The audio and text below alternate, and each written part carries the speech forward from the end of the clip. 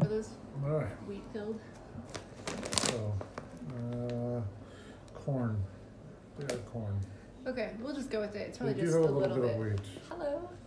Okay. Not bad. Dun, dun, dun, dun. Takoyaki ball.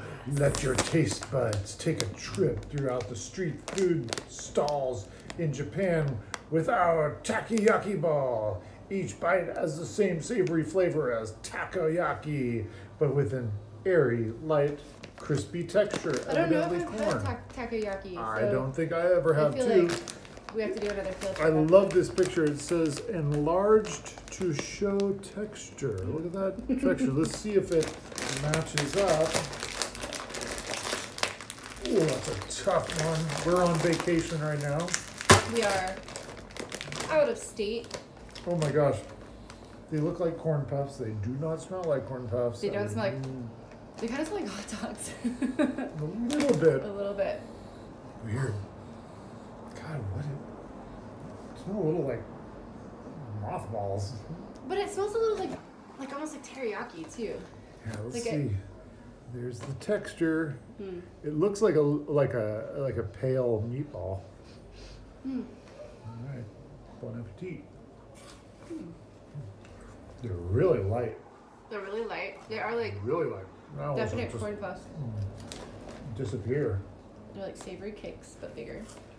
Mm-hmm. A little bit bigger. They're still a little bit sweet though. They are. They're kind of like that kind of corn puff that gets immediately sort of gooey and sticks to your teeth. Mine are just kind of melting, but I think it's because I just drank water. Wow. The flavor is really hard to describe. It's takoyaki. That must be what it is. It's like It's kind of funny. My I would first, say it's all. It's like more sweet than salty. I have to have real takoyaki now I know. because this is my first exposure to takoyaki. That's pretty terrible. Um,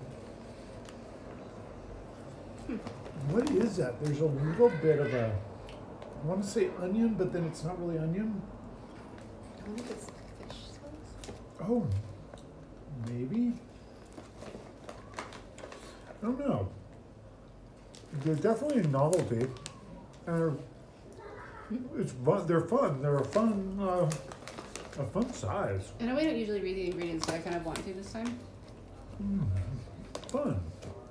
Um, It's got some spice to it too. It's got like green powder on it. yeah, but not not hot. There's No. there's no heat at all. No, like spices and like savory. Mhm, That's But what I'm not- trying. not that's what I'm trying to figure it out. There's no heat to it at all. Yeah, I think it's like an onion powder. There's no garlic. Maybe it- No. no. It's like an onion powder and, and sweet. is like yeah, onion powder. It's like sweet onion powder. plum, maybe plum sauce. Maybe.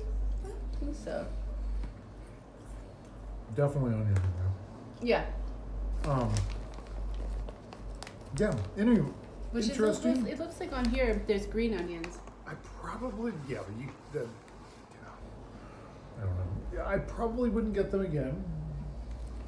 I would bring them to a party. I would definitely bring them to a party. I think they're really in, like in that case, yeah. pretty fun and great. And it's a beautiful packaging. You know, it really is. It's like way cooler than bringing like Doritos. Totally. Um, I'm gonna give them just on their own the, like a seven because they're fun. On their own, I'm gonna give them a six and a half. I'm a hard grader. If I couldn't do that, I'd give them a five.